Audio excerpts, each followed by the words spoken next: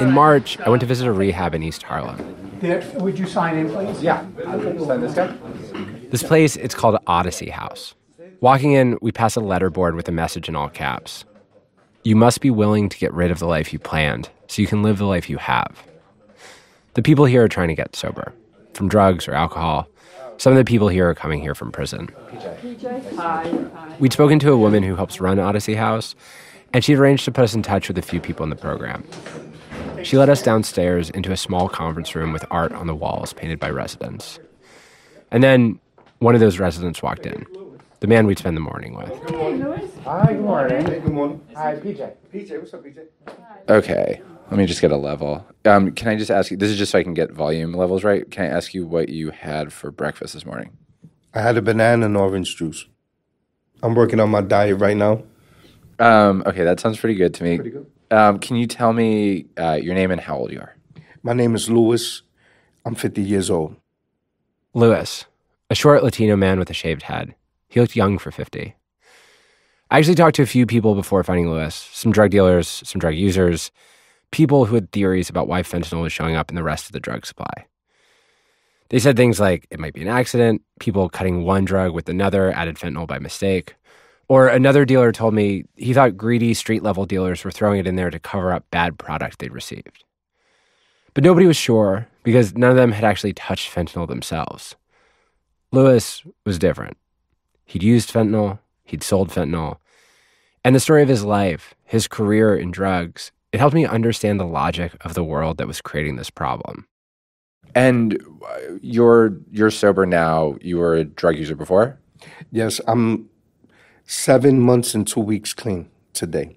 And when you use drugs, did you sell drugs or did you sell drugs separately? In the beginning of my career, I started off selling drugs. I was using marijuana. I drank a little bit, and um, by the age of 14, I was sniffing cocaine. Got it. And what were you when when did you start selling? When I started selling drugs, I was selling crack cocaine, a little bit of heroin, but crack cocaine. And how old were you? I was 13. I was 13 years old. My mother was an addict. So when my mother and my father broke up, which he was also an addict, um, we were homeless. So I helped my mother out and helped myself out. I'd sell drugs. My mother would sell illegal numbers. So she would um, get her money for her addiction. And And when you say sold numbers, it was like the sort of underground lottery. yeah, the illegal lottery. And um, I sold drugs so that she didn't have to do worse things for her addiction. And so we can eat and have a place to stay. And this is like, um, I'm just, I'm just trying to like place this in time. Like what It was in 1985. Got it. and crack was just beginning to become a a problem that nobody saw how big it was going to become. I need to tell you about what Luis's neighborhood was like before crack arrived. His story just doesn't make sense otherwise. Starting in the late 70s, a series of fires tore through the South Bronx, most of them arson. 80% of all housing was lost. People compared what was left to European cities after World War II. Nowhere urban decay and blight more apparent than in the South Bronx. The home of Ladder 33 and Engine 75 of the 19th Battalion.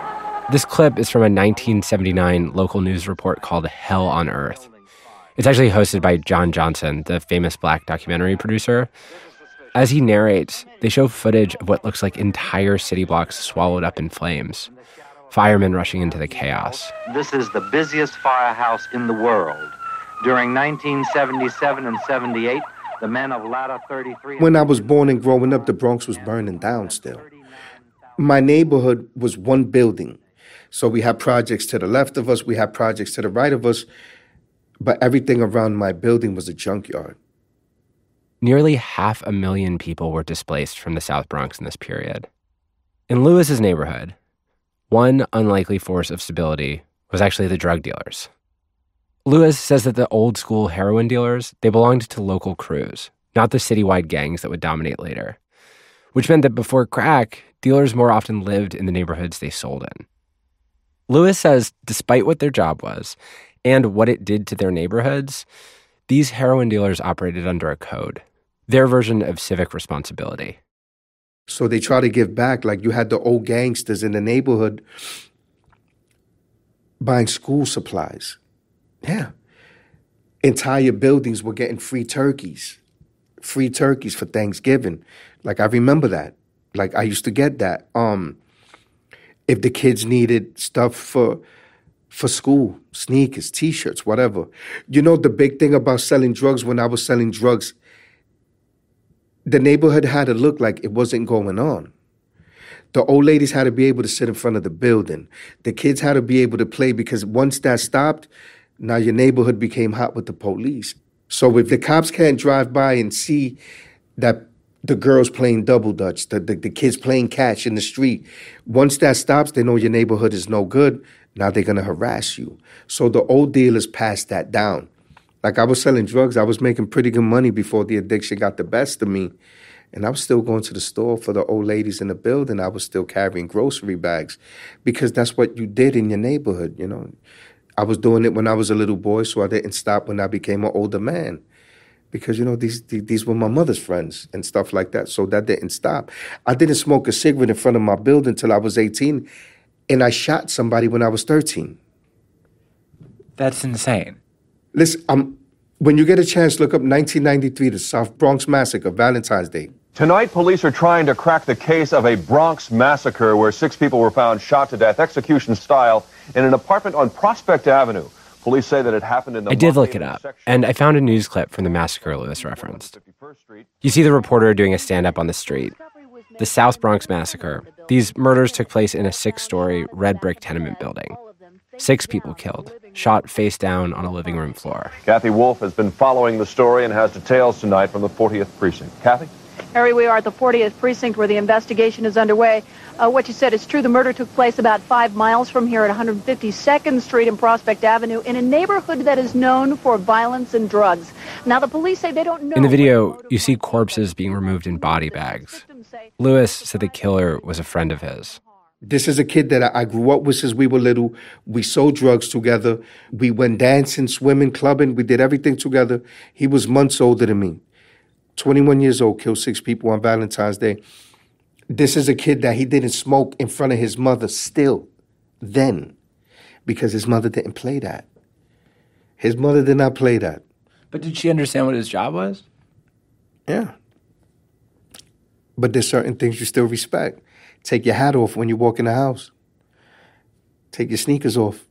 Like, clean up your room, make your bed, throw out the garbage. Yeah. You just did it because you were raised that way.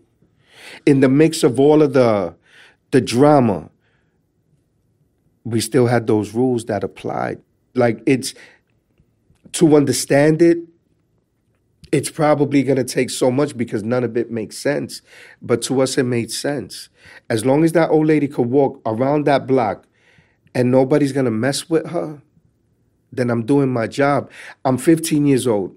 I'm selling drugs. I got guns on me. I got to worry about the drug addicts coming to rob me. I got to worry about the stick up kids because you have people that robbed drug dealers as their job, right?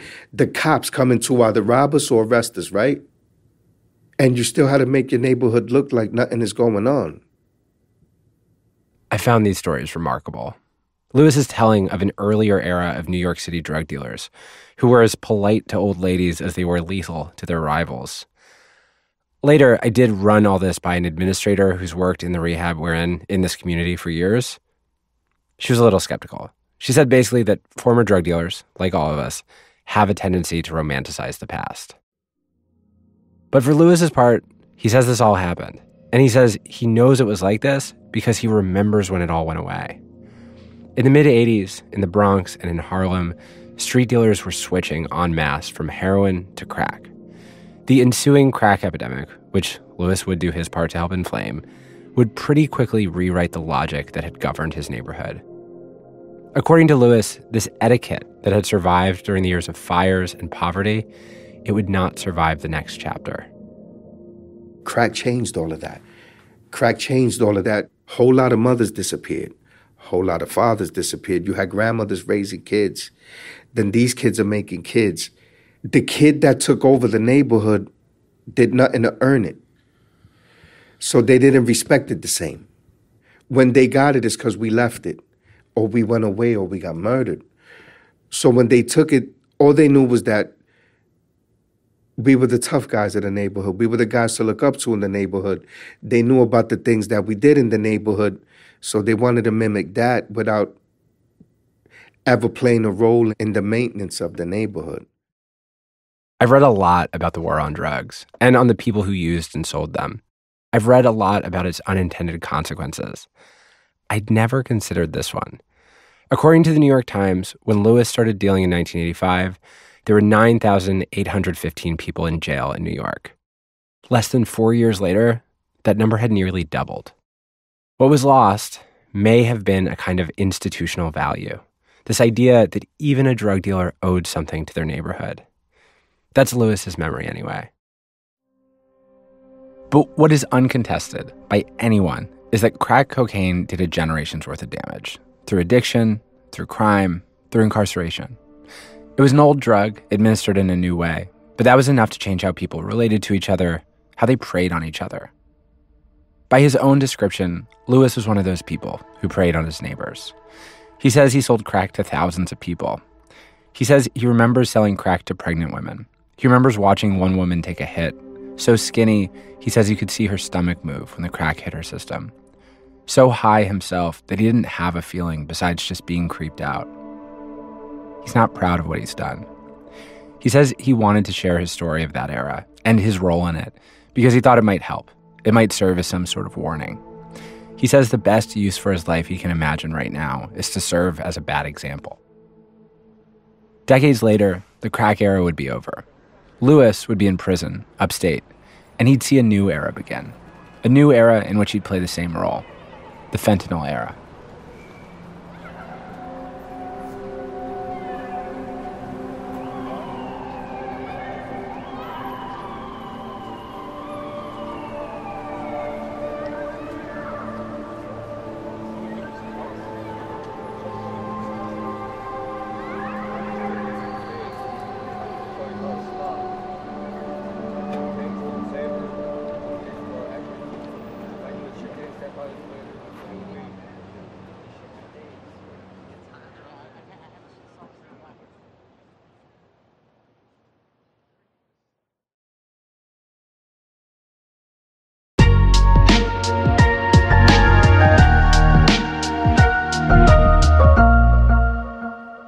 Welcome back to the show.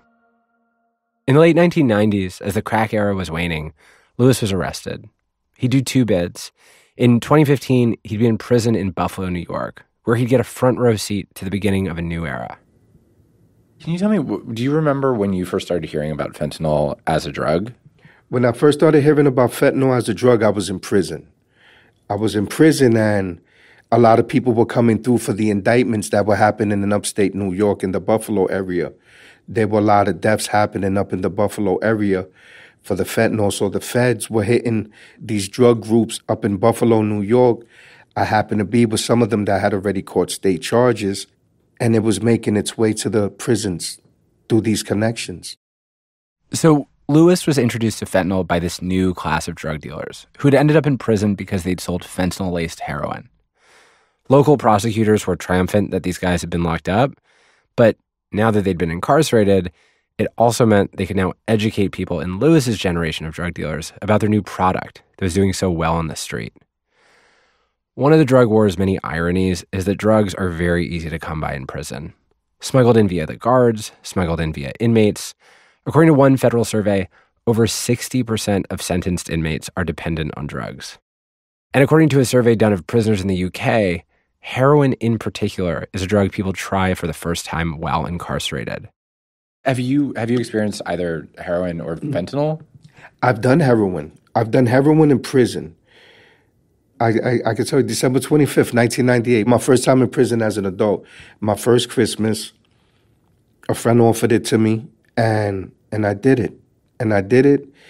I felt uncomfortable at first, got nauseous, stuff like that, but um, after a couple of hours, some coffee, some cigarettes, I wasn't even in prison anymore. And honestly, in the 18 years that I've done in prison, it was guaranteed to take me out of there. So I was free. So I do heroin to not be in prison. Even though I was physically in it, I was gone. So yeah, I had I had a love for the for for heroin If there's any drug that I truly love the feeling, it would be heroin. And as far as fentanyl, I've done it about two times, three times. And I was using Suboxone at the time in prison.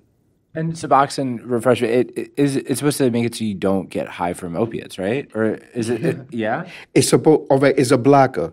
So right now, if if if I'm on Suboxone, I can't take heroin. It won't let it like the drug will still be in my system, but it won't let me experience the feeling.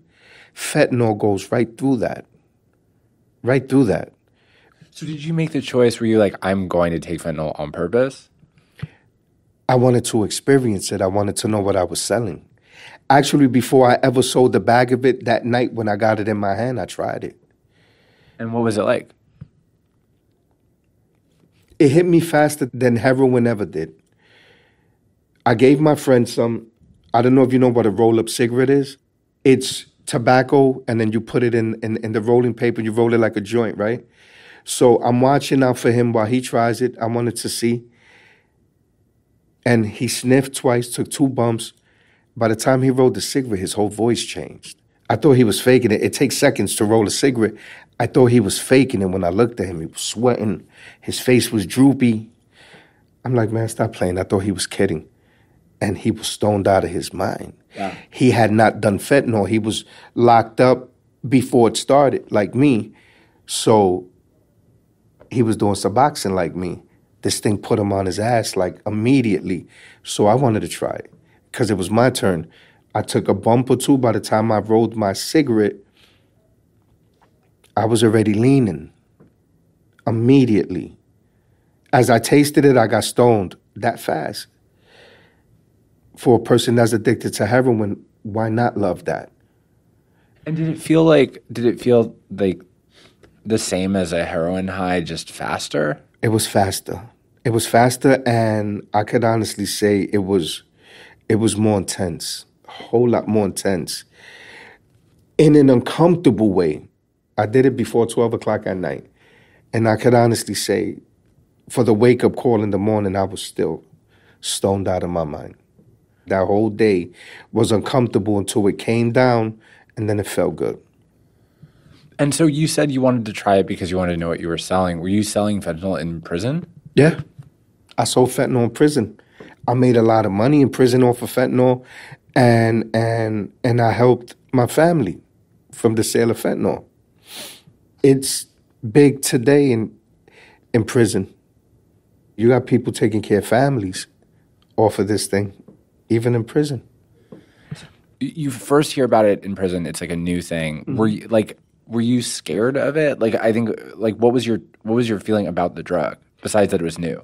I guess at, at that point it was worrisome because you always think, you know, who, who am I going to know that's going to die from that? My whole neighborhood in the Bronx was flooded with drugs. I have a daughter who lives upstate. That area is flooded with the drug, and Buffalo's like right down the street. So when I was selling it, it kind of freaked me out. That same fentanyl laced heroin was killing people in the street. I think at that point you got the people that don't care and they're gonna give it to you as strong as they can get it. To the point right now where maybe a year ago they were cutting the fentanyl with the heroin instead of the other way around. What Luis is saying is that in Buffalo, in prison, he was seeing the same thing happen that Ben Westhoff, the journalist from Part One, had been hearing reports of happening nationally. People who had been addicted to heroin had gotten addicted to fentanyl laced heroin and then addicted to just fentanyl. At first, they were using the fentanyl to boost up the heroin. Yeah. Then it became where they were cutting the fentanyl with heroin because the heroin wasn't as potent. So what they were doing is they're giving you the taste of it and kind of making the fentanyl not as strong by cutting it with the heroin. yeah. And is this people, and, and in this case, it's dealers who are selling addicts who are coming and wanting fentanyl, and they're yeah. getting instead of buying heroin that has fentanyl, they're buying fentanyl that has that heroin. Has heroin. Yeah. Right now, right now, what's happening in the street is they sell straight fentanyl now. They started selling straight fentanyl. And because people didn't want, like, why even waste time getting anything laced with heroin? It's crazy, right? Laced with heroin when yeah, they could just get laced fat, with heroin laced with as heroin. a phrase is insane. Yeah, yeah, but eh, but this is what's going on. Like you go to some of these streets, like right now, probably not too far from here. like around the corner, and th- they're selling caps of fentanyl or bags of fentanyl. It's not it's not even heroin anymore. People were buying fentanyl. The only problem with fentanyl was that once you got a good um, amount of it in your system for a certain length of time, it doesn't have any legs. So where I could shoot up a bag of dope and be okay for like an hour or two, fentanyl is going to take me higher faster, but it's gone in 15 minutes. That's why the fentanyl addicts are chasing it so much more because you got to use more to keep that feeling. Very few of the things that other human beings do in life are actually senseless. What can look insane or evil or random is often someone following the rules of a world that are just different than yours. Luis learned one set of rules growing up as a 13 year old crack dealer in the South Bronx protect your turf with violence, sell to junkies, never smoke a cigarette in front of an old lady. Later, as a user himself, he learned a new set of rules pursue the greatest high the more you've lost, the less you have to lose. Luis was telling me things that I'd already heard Ben Westhoff say, facts that had been reported, but those facts hadn't made sense divorced from the world that had created them. Now they did. Heroin users avoided fentanyl at first because they'd heard it was deadly, but the ones who survived had pursued fentanyl because it offered a stronger high. And from Luis, another fact Ben had reported seemed more real to me now that eventually Overdose deaths from heroin laced fentanyl didn't serve as a warning to the survivors, they served as an enticement. And also the fact that it was dropping so many people made more heroin addicts want to gravitate to whoever was selling that bag that was doing this to people so they could get as high as they possibly could. So this is something that I've heard from other people, and it sounds like you're saying it's true as well. That for for addicts, if they hear that someone overdosed off of a drug, that can be kind of an advertisement for that drug. It's definitely an advertisement.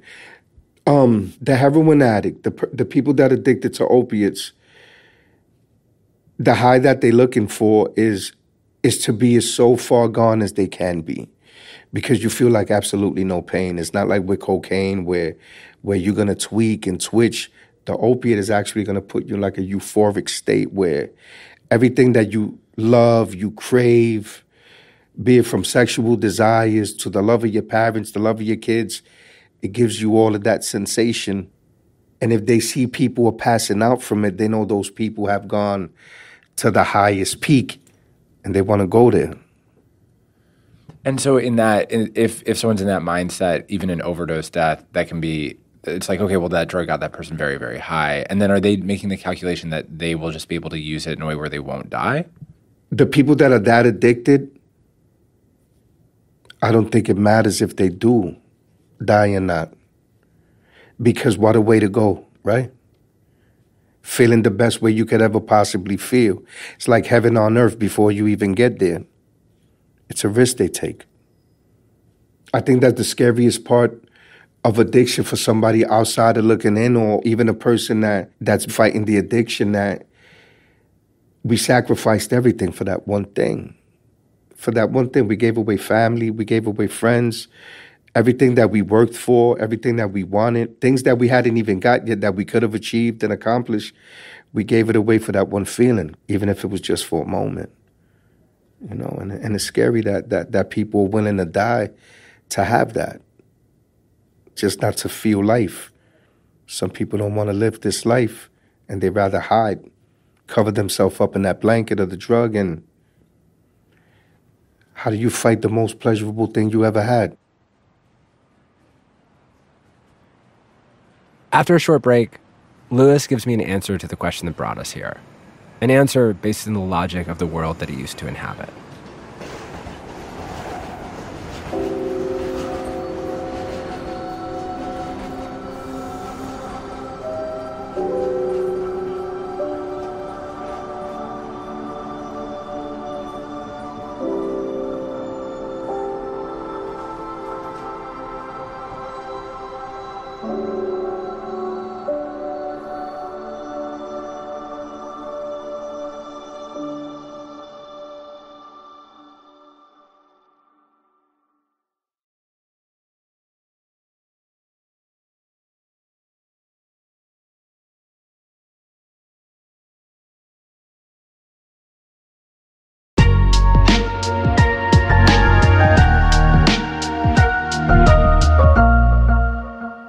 Welcome back to the show. So, I want to say the most common theory I've encountered for fentanyl showing up in non opioid drugs like cocaine is that it probably happens by accident. The image that's often provided is like an inexperienced street level dealer mixing a bunch of drugs on a table, and then they just like bump a pile. Or maybe a drug scale used to weigh fentanyl is then used to weigh cocaine without being cleaned. Anything is possible. This show abhors certainty. The problem is, I have not heard firsthand accounts of that happening from drug dealers. And when I asked Luis what he thought, he said he does not believe this is an accident.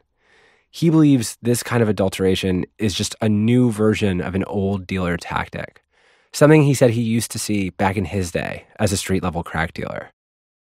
This used to happen back in the day in, in Harlem. Like you could read about this. What people do is people will lace cocaine with heroin. Yeah. So now, same difference. You're gonna keep coming for my cocaine because my cocaine is the one that's making you feel the way you want to feel because you like it better than anybody else's cocaine. And what it is, you're speedballing you don't even know it. The people that actually like that feeling, they could only get that feeling from me. And they don't even know why. Where they think it's my coke, it's that I'm cutting it with a little bit of heroin because I want you to consistently come to me. So I'm hooking you to dope. Because once I see that you just coming to me, coming to me, coming to me, I got you. And I didn't hook you with the coke. I hooked you with the dope, which is what I wanted to begin with. Eventually, I'm selling you bags of dope. And and the experience that they will have, they won't think, "Oh, I just took cocaine and it's really different." They'll think like, "I took cocaine and it's a little bit better." It's almost like you're describing like um, this is like a, a stupid analogy, but it's like how restaurants use like a lot of salt in the food or something. Right. It's your put like this: the people that are that that do like it, they're gonna stay liking it. You're gonna have the people that maybe feel a little bit uncomfortable; and they won't like your coke. But the ones that do, it's gonna take a short amount of time before even they realize that you know this is the only coke that's gonna get me there. Mm. And then you start selling them dope too. You start selling them dope too. Some of them are going to say no for a long time. But then, you know, some of them are not. I found an article from 1989 describing the same phenomenon that Luis is talking about. It's from this piece by an LA Times reporter in New York, filing from the front lines of the crack epidemic. The piece is called Smokable Cocaine Heroin Mixture Seen as Spreading Lethal Addiction. The reporter describes this new innovation among drug dealers. They're selling users product they claim is crack that's been secretly dusted with heroin. The reporter interviews Robert, a 24 year old in a New York rehab center not very different from the one we're in now. It's just decades in the past. According to the piece, quote, You're going to love this, Robert said a dealer told him when he gave him an ordinary looking rock, not telling him about the heroin in it. End quote. Robert did love it. The reporter talks to a different crack cocaine user named Warner, the piece describes how good this new combination of upper and downer feels to Warner. Quote, Normally, the high disappears after a few minutes, and then he feels awful. Not this time. This rock tasted like medicine, like dope, like heroin. Instead of crashing, Warner found himself enjoying a gentle descent, sort of like a parachute. End quote. This story, combined with Luis's, they help answer a question that had really confused me. Why on earth would a dealer use an opiate as an adulterant in a non opiate drug? Turns out, for some users, it makes it feel better. And it makes it more addictive. Opiates and opioids offer strong physical withdrawals, which could produce more returning customers. Luis said this idea could even apply to something like cannabis. He laid out a scenario of why someone selling cannabis might want to adulterate it with fentanyl. Right now, I'm selling weed. I got weed. Everybody's got weed. But now, if I put a little bit of fentanyl in my weed, I'm gonna get you stoned different, right? I'm gonna get you stoned different. So what ends up happening is I'll go to this guy and buy weed, and it's gonna get me high, but it's not gonna get me high like the weed with the fentanyl. I don't know it has fentanyl in it, but I know it makes me feel better. It's a higher it's a higher high. So I try that other guy. I'll get stoned, but I'm not to get stoned like this. You're to come back because you want to get this stoned. And then what happens is you're to do it and keep buying the weed from this one guy and you're getting hooked to the fentanyl. And then later on, you're a customer that he's to push it on to because he knows what's bringing the people back, especially these kids, is that they're getting hooked to the fentanyl. They don't even know it. I want to put a caveat here. There's a community of activists and experts online who argue for decriminalization of all sorts of illicit drugs. Honestly, I'm pretty sympathetic to their politics. Some of them have dismissed reports of fentanyl showing up in cannabis as just fear mongering. Fear mongering by law enforcement, amplified by credulous journalists. Some say that fentanyl is not mixed in cannabis because it wouldn't make economic sense for dealers, and that also it's chemically unlikely in some cases. Fentanyl degrades in heat more easily than cannabis, so lighting up a joint specifically would provide more heat than you'd want for smoking fentanyl. But the problem for me is that Luis is a former drug dealer, and he says, in his experience, cannabis does get adulterated. Two other patients we spoke to at the rehab said the same thing that dealers are putting fentanyl in cannabis because they want to trick people into using a version of their preferred drug that offers opiate style withdrawal and opiate style addiction. I do not want to suggest that cannabis is a drug that people should generally be afraid of. Cannabis, compared to a lot of other drugs, is pretty safe. It might make you appreciate jam bands more. But to say categorically that fentanyl would never appear in cannabis feels reckless to me. Dealers interviewed by the New York Times have talked about spraying cannabis with fentanyl. And we found a couple cases from drugsdata.org where people had asked for their loose cannabis to be tested and it had come back fentanyl positive. That's the context I have. But I did push Luis a bit more here on the logic of a choice like this by a dealer, which I do still find strange. Part of what surprised me about that is like, I've never taken opiates, I've taken other drugs. I always assumed that if I smoked weed laced with fentanyl, I would notice because fentanyl is such a strong drug. If you put it in small, small quantity, which is still strong. It's really just giving the the weed a boost, but what it's doing to the body is a little bit different. But what about somebody who's selling like cocaine who has a drug overdose? I don't know if you know, and you can look this up. About seventy percent of the overdoses that have been going on, let's say Oneida County, were cocaine laced fentanyl. And I'm talking about this was a few months ago. More than half of the overdoses are coming from that. And why are they doing that? Because people are shying away from just buying the fentanyl. So these people that are still doing the cocaine, you've got drug dealers still willing to do that tactic to to try to reel these people in. So they were killing all of these cocaine addicts. They didn't know that they were doing that. I checked Luis's numbers. He's pretty close. 70% of overdose deaths in Oneida County last year involved fentanyl. The majority of those deaths involved cocaine and meth with fentanyl, although fentanyl showed up in other non opiate drugs too. In one particular case, seven people overdosed in seven days after smoking a synthetic form of cannabis that had been tainted with fentanyl. When Luis sees those stories in the newspaper, he doesn't really have questions about them. He sees an old logic that he recognizes. For me, this is as close to a truly satisfying answer as I expect to get on this. Fentanyl, invented as a hospital painkiller in Belgium, was later formulated in small labs in China. It found a new customer base among opioid addicted Americans.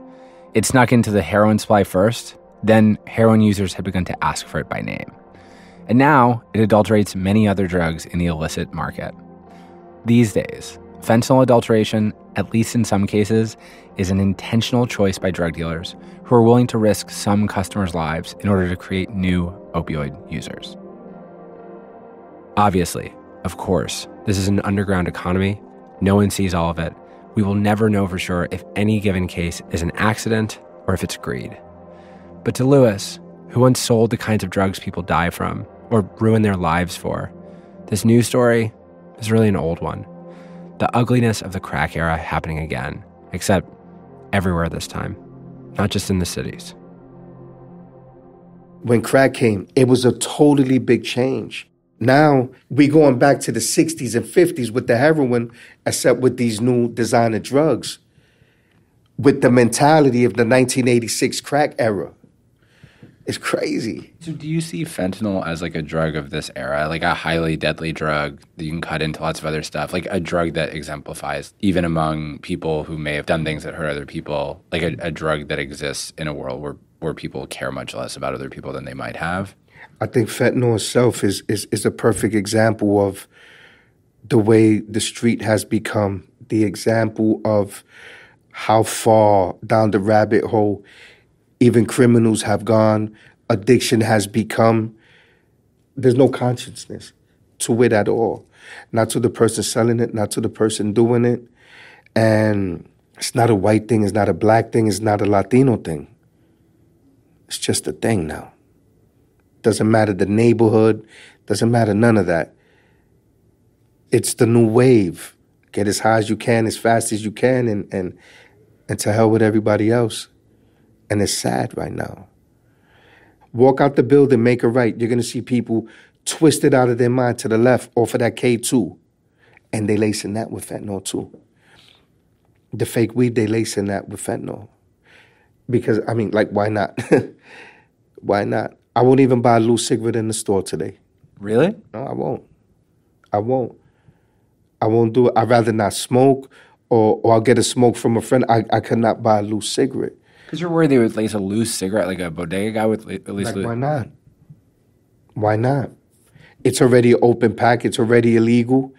Half of these places are surrounded by drugs. Like, why not? It's not like I ain't sell drugs in these stores. It's not like some of these people didn't supply me in, in one way or another. Like, so why not? It's just another hustle. Why not get in on it? Think about it. Back in the day, you used to dip the cigarettes in the in the the angel dust.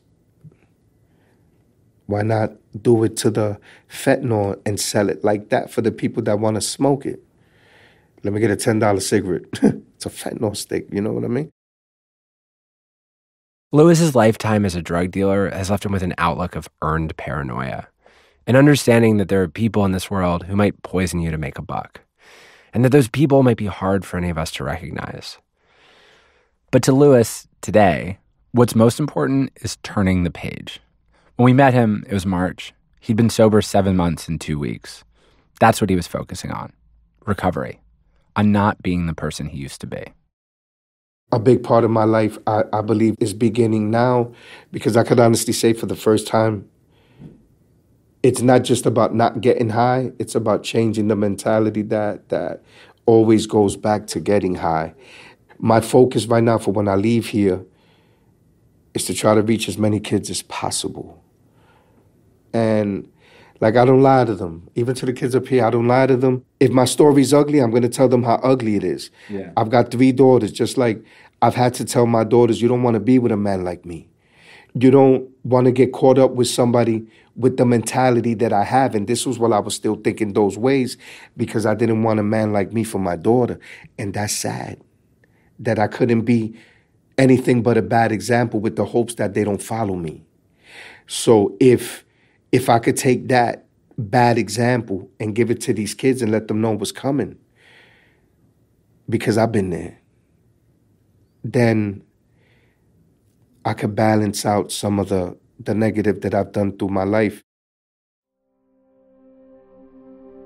What do I want right now for my life? I want to make it worth something. And the only way I could do that is to stay clean and help people stay away from my tracks. With that, I'm finished. Yeah. Thank you. Yes, sir. I appreciate you guys. Please, man, put that out there. People need to hear this.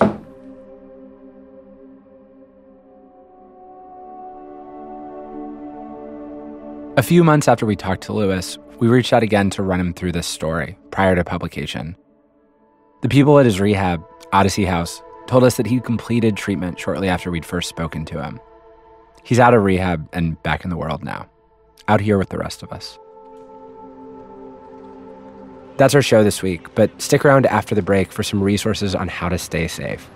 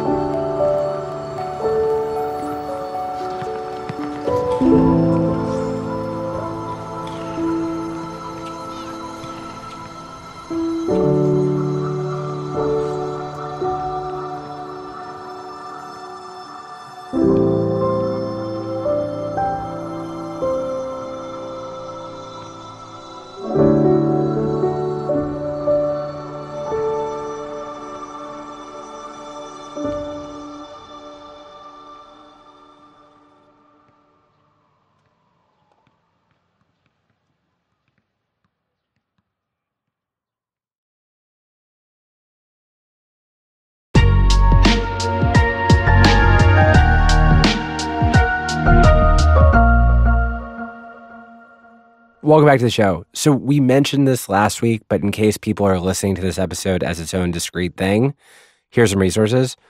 If you use illicit drugs, or if your friends do, you should go to dancesafe.org. You go to their website, you can buy fentanyl test strips. We have put a link to both the site and a video for how to use these strips in our newsletter, but it's very easy. You take a small amount of the substance you want to test, you dilute it in water, you dip the strip, and then you look for a line like a COVID test. The other website we mentioned last week, which I will reiterate, is drugsdata.org. Um, this is like an offshoot of Erowid, if you're familiar with that website. But people send in their illicit drugs, the organization tests them, and then they say what's in the drugs. And what's interesting about this website is you can use it to sort of see what is generally happening in the illicit market, which is usually an ocean of question marks. So, looking today, I see that in Washington, a lot of people are testing MDMA, and it looks like it's actually MDMA. So those are two websites you can check out. Also, Odyssey House, the rehab that connected us to Luis, their website is odysseyhousenyc.org.